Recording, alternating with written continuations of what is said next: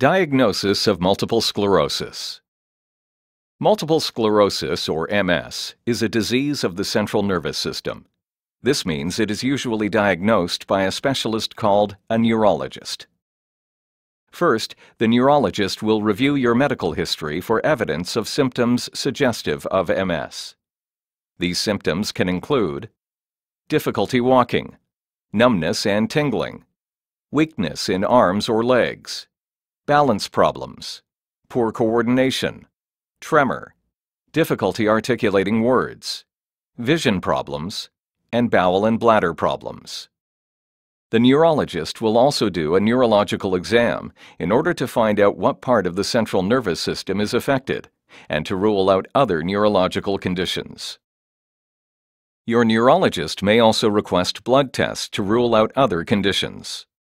Next is an MRI, which is a technique that works especially well at imaging the brain and spinal cord. On an MRI image, MS plaques show up as white patches.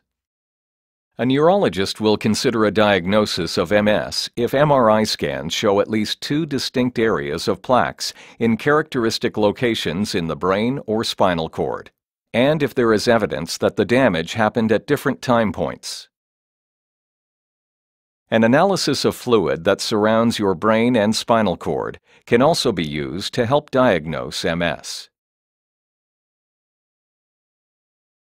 MS is usually classified into four different types relapsing remitting MS, secondary progressive MS, primary progressive MS, and progressive relapsing MS. The most common is known as relapsing remitting MS.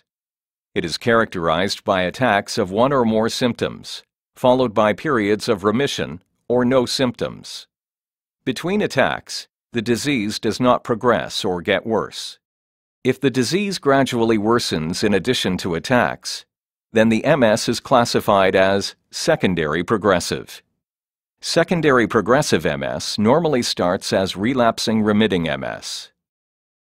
About 1 in 10 people with MS never have attacks, but have gradual worsening of their illness. This is called primary progressive MS. A very small percentage of people have a form of MS that starts out steadily progressive, but is also punctuated by attacks of symptoms. This is called progressive relapsing MS. Because of the unpredictable nature of MS, treating and monitoring the disease is very important. Monitoring helps your doctor identify how well your medication is working and whether the condition is getting worse.